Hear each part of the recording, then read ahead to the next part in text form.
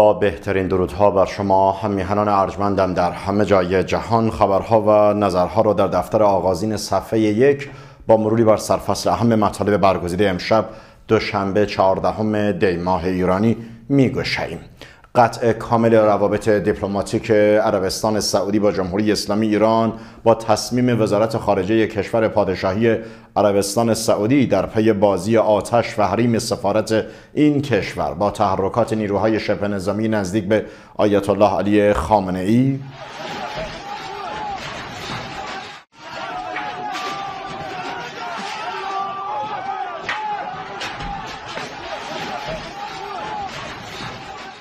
باستاب گسترده و واکنش های متضاد اعدام دست جمعی برخی از نیروهای تروریستی در عربستان از جمله شیخ شوریشی شیعه با نام النمر با واکنش شخصیت های منطقه‌ای فرامنطقه‌ای و حتی مجامع جهانی در يقتلون اولادنا نريدهم حكام علينا لا مريد It was this type of political dissent from Nimr al-Nimr that in part led to the Shiite cleric's execution on Saturday. Now, his death is sparking outrage across the region.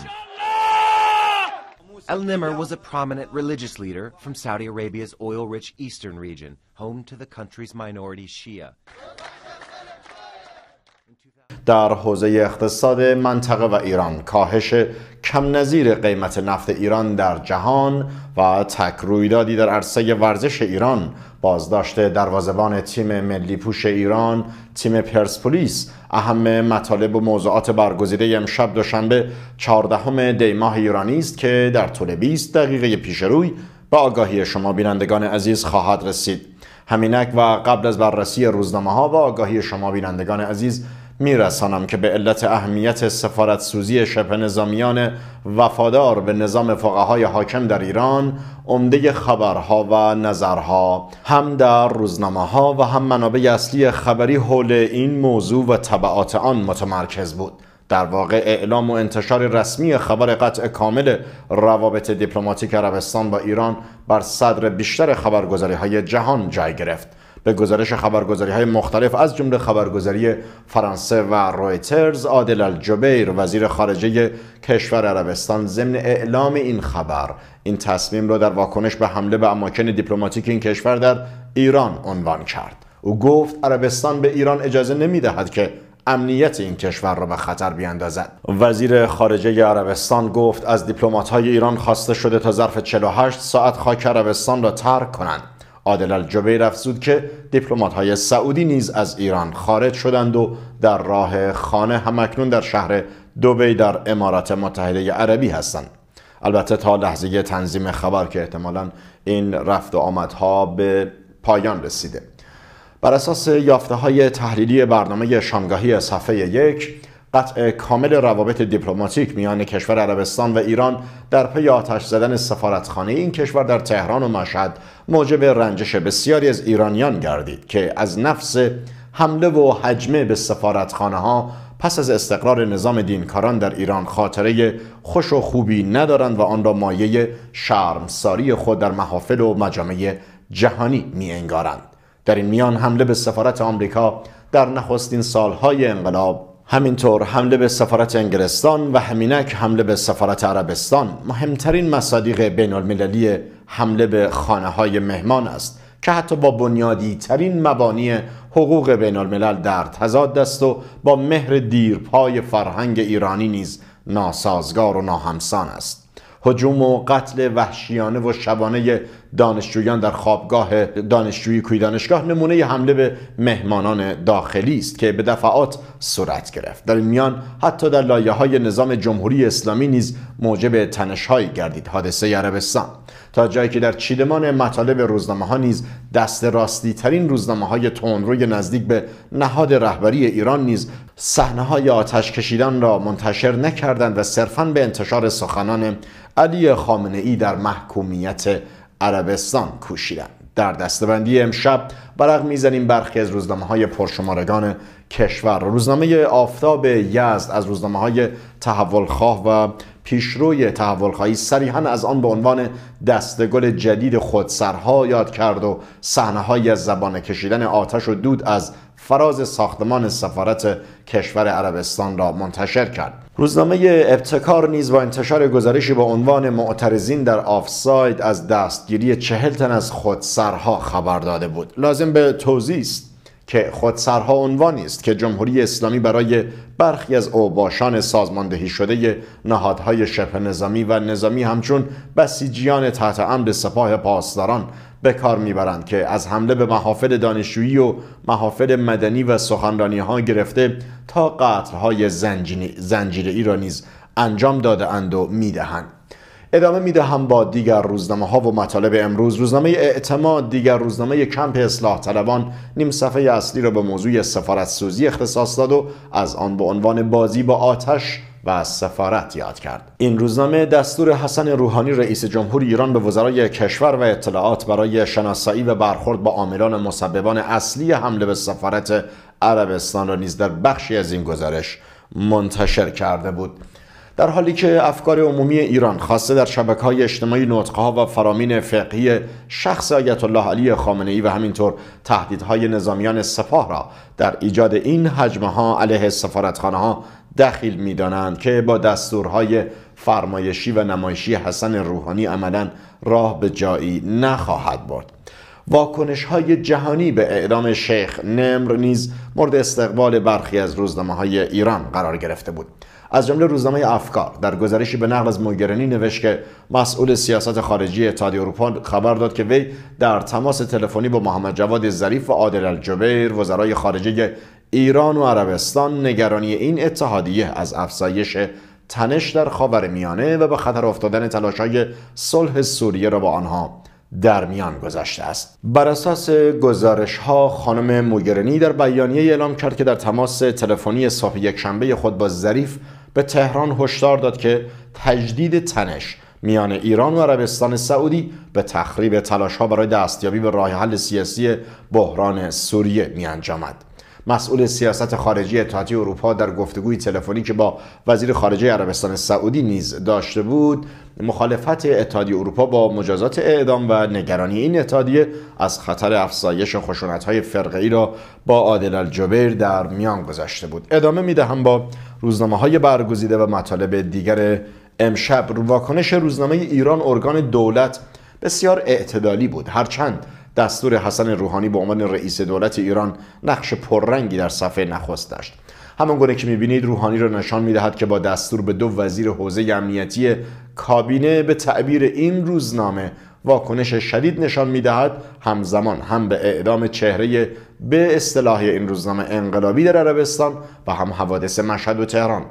از جمله حسن روحانی حمله به سفارت عربستان را حد که حیثیت نظام دانست. و اما در سوی دیگر روزنامه های نزدیک به رهبری نظام که خود را در واقع مدافع ارزش های راستین اسلام و مدافع شیعه می‌خوانند. به طور یک پارچه صحنه از تظاهرات اعتراضآمیز و آرام برخی از شهروندان را علیه اعدام شیخ شورشی ریاض نشان دادند و خبری از صحنه های خون و خشونت و آتش نبود. است در صفحه یک این روزنامه ها کاملا گزینشی. تیتر اصلی تمامی روزنامه های نزدیک به رهبری ایران و حتی سایر روزنامه ها تا حدود نسبتا مستقل نیز پیش بینی آیت الله علی خامنه‌ای بود که گفته بود دست انتقام الهی بسیار سریع گریبان آل سعود را خواهد گرفت. این خون دامن اینا رو خواهد گرفت. بلاش تردیدی نداشته باشند سیاست گذاران و مجریان و سیاست سازان دولت سعودی تردید نکنن که این خون دامن اینا رو خواهد گرفت. پدرشون در میاره در این میان روزنامه های همچون روزنامه اطلاعات وابسته به نهاد رهبری افکار نیمه مستقل جمهوری اسلامی حمایت وابسته به قوه قضاییه خراسان رسالت وابسته به طیف تندروی معتلف ایها و جناه بازار و بالاخره کیهان وابسته به نهاد رهبری ایران همگی به طور یک پارچه علی خامنه ای را صدرنشین صفحه یک شماره امروز خود نموده بودند که پیش بینی کرده بود. دست الهی به تعبیری گریبان نظام سعودی را خواهد گرفت.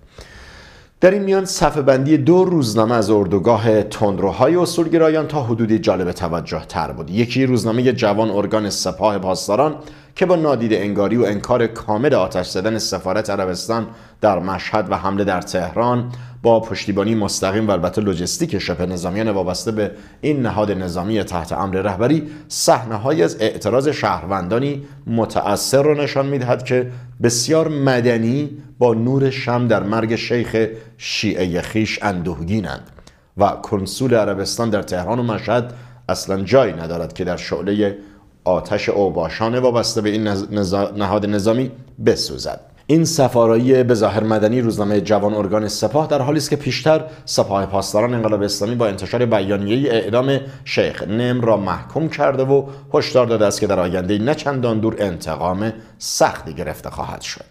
در بخش از بیانیه سپاه با الفاظی بسیار تند و غیر دیپلماتیک آمده بود که در آینده نچندان دور انتقام سختی از جنایتکاران آل سعود گرفته و سقوط و فروپاشی پایه های این رژیم تروریست پرور منفور و ضد اسلام را رقم خواهد زد که احتمالا آتش زدن سفارتخانه رو همان انتقامی می‌خوانند و می‌دانند که رهبریشان وعده کرده است.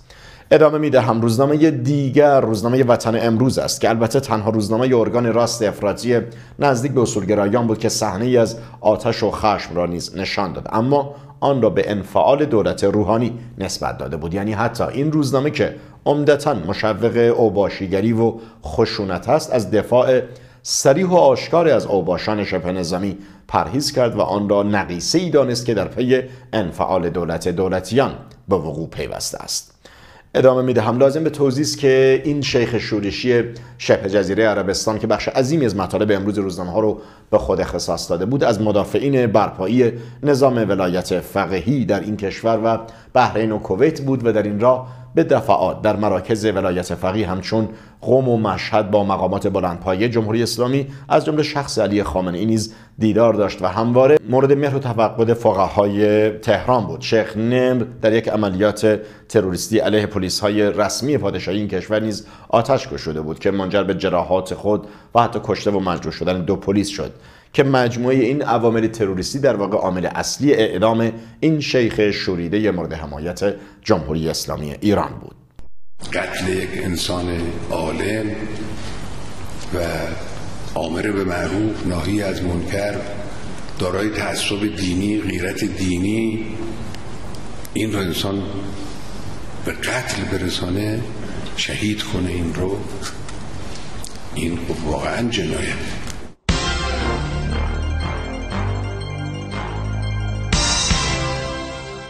کماکان بیننده برنامه شامگاهی صفحه یک از تلویزیون ایران فردا هستید. سرمقاله ها و گزارش های اصلی روزنامه های تهران عمدتا به نقد حمله به سفارت عربستان اختصاص داشت. از جمله روزنامه اعتماد نزدیک به طیفی از دولتی ها معتقد بود که باید به نیت خانی کردار شورشیان و آتش افکنان سفارت پرداخت و آن را رفتاری مشکوک و امنیتی خواند که در پی بحران افکنی علیه دولت روحانی است. اعتماد. در این یادداشت به عنوان آسیب ماجراجویی افراتیون به منافع ملی که به قلم جلال خوشچهره نوشته شده بود معتقد بود که هدف افراتیون فلج کردن دولت برآمده از اراده مردم در انتخابات سال 92 است. آنان در این هدف از همه ابزارها بهره می‌گیرند. حتی اگر منافع ملی و امنیت کشور دچار آسیب شود از منظر ستونویس روزنامه اعتماد حمله به سفارت یک کشور به معنی نقض کنوانسیون های بین المللی است که در آن بر امنیت نمایندگی کشورها تأکید و تصریح شده است. از منظر ستونویس اعتماد انکار این مهم به معنی بیمسئولیتی دولتی است که میزبان نمایندگی کشورهاست. حال در نظر بگیرید ایران در گذر سالهای سخت تحریم های شکننده دشمنان ریز و درشت در جامعه بین الملل قرار است شرایط تازه ای را در دوران پسا تحریم آغاز کند. از جمله تعهداتی که می تواند ورود سرمایه های خارجی را در کشور تسهیل کند توانایی دولت در تأمین امنیت نمایندگان خارجی در داخل کشور است.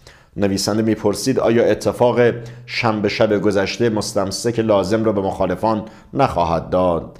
در این حال آیا چنین رفتاری تلاش دولت را در تحکیم روابط منطقه‌ای دچار اختلال نمی کند پرسش هایی که در ذهن بسیار از خوانندگان هم قطعا وجود دارد.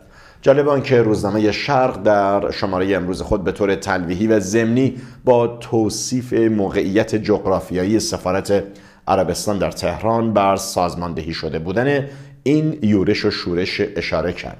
شرق دقیقا نوشته بود که سفارت عربستان دو در دارد. یکی در که دقیقا نقش کوچه است و یک در هم که پایین تر از آن است. نقشه مهاجمان بسیار دقیق بود. آنها از سمت در نبش کوچه سفارت را با آتش کشیدند و پس از آن در پایینی را شکستند و وارد سفارت شدند. صحنه ها آشنا بود. تصاویر حمله به سفارت انگلیس در پاییز 90 از ذهن میگذشت.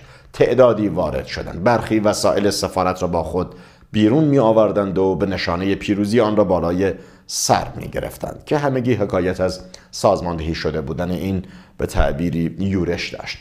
در این راستا روزنامه قانون نیز در کنار سایر روزنامه هایی که به مقوله سفارت سوزی پرداخته بودند در تحلیل یادداشتی به عنوان حمله کننده ها به سفارت چندان هم ناشناس نبودند. به قلم داوود حشمتی روزنامه نگار با مهاجمان به عنوان پیاده نظام نفوذ در صحنه‌های عملیاتی یاد کرد که نه تنها مشکوک نبودند بلکه کاملا آشکار و واضح هستند که از چه گروههایی هستند. به نوشته این روزنامه‌نگار در حالی که ایران یک پارچه و به دور از هر نوع جناهبندی سیاسی مشغول اعتراض از اعدام شیخ نمر بود عملیات پیاده نظام نفوذ در مقابل سفارت عربستان مردم را دوپاره کرد. نویسنده روزنامه قانون در پایان نتیجه گرفت که این شیوه آنهایی است که زیستشان در بحران است و خودشان را پشت نقاب انقلابیگری مخفی می‌کنند تا به انقلاب ضربه بزنند. پشت چهره اسلام مخفی می‌شوند تا اسلام را بدنام کنند. ادامه میدم در وقت باقی مانده با سایر مقالات برگزیده. این تنروهایی که می‌گویید یعنی چه؟ عنوان گزارشی بود که در واکاوی رفتار سیاسی نیروهای سیاسی موجود در ایران به کندوکاو این رفتارها میپرداخت. روزنامه ابتکار در بخش نخست با دستبندی گروه های سیاسی در ایران از, آن از آنها به عنوان اعتدالگرایان، اصلاح طلبان و تندروها در واقع طبق بندی موضوعی کرده بود که اعتدالگرایان و اصلاح طلبان به هم نزدیکند و در واقع بدین روی هنگامی که سخن از تندروها گفته می شود مشخصا لایه های خشن طیف راست افراطی مد نظر نویسنده بود. روزنامه ابتکار در شرح مصادیق تندروی های گروه های تندرو به نمایش رفتارهای تندرویان در موضوعات مختلف در صحنه مجلس که مهمترین آنها بحث برجام بود نیز اشاره کرد که باعث تعجب هواداران و افرادی شده بود که آنها را حتی به عنوان وکلای خود به خانه ملت فرستاده بودند. مطالب رو از عربستان و سفارت سوزی و این گونه مطالب کمی دور می‌شویم به ایران برمیگردم.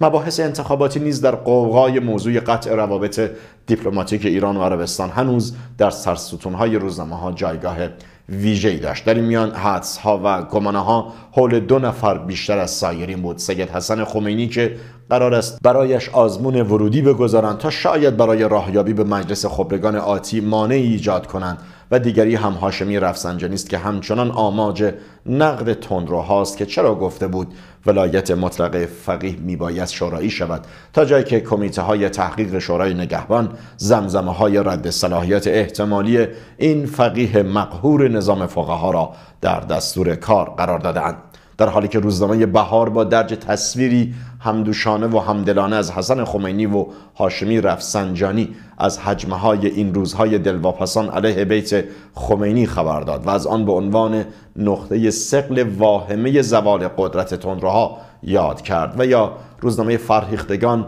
از ظهور رسانه های نو با کینه های کهنه پرده های تازه کنار می‌زد. سخن از آزمون های کتبی برای رد کردن برخی از چهره های اصلی نیز به میان آمد. روزنامه آرمان نزدیک به طیفی از مردان هاشمی با درج تصویری از حسن خمینی از وی به عنوان نیمه پنهان یادگار یاد کرد که به نقل از فقیهی دیگر با نام فاضل لنکرانی در وصف دانش فقهی این روحانی میان سال مورد احترام محافل اصلاحی نوشته بود که مراجع و علما نسبت به جنبه علمی حسن آقا از آن دارند که در واقع پاسخی است به اظهارات مسئولین شورای نگهبان که مدعی شده بودند با هیچ کس برای امتحان علمی تعارف نداریم که همانو از منظر کارشناسان عرصه رسانه رسانه تهدید آشکار به حسن خمینی است. گویا وقت پایان رسیده. با این مطلب وقت برنامه امشب ما نیز به پایان رسید. بیننده برنامه شامگاهی آن سوی خبر باشید. با آخرین خبرها و تازه ترین رویدادها و گزارش ها از چهار گوشه جهان تا آنگاه شامگاه خوش بدرود.